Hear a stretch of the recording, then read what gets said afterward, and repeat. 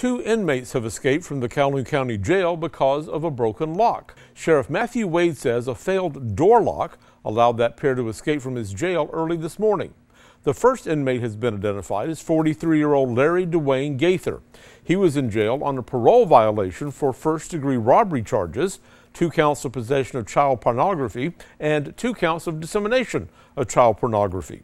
The second escapee has been identified as 31-year-old Bryant DeAndre Johnson. He was being held for failure to appear on a first-degree robbery charge, possession of prison contraband in the first degree, and a charge of first-degree sodomy. Wade says that all available resources are being used to recapture those escapees. He's asking anyone with information to call 911 immediately.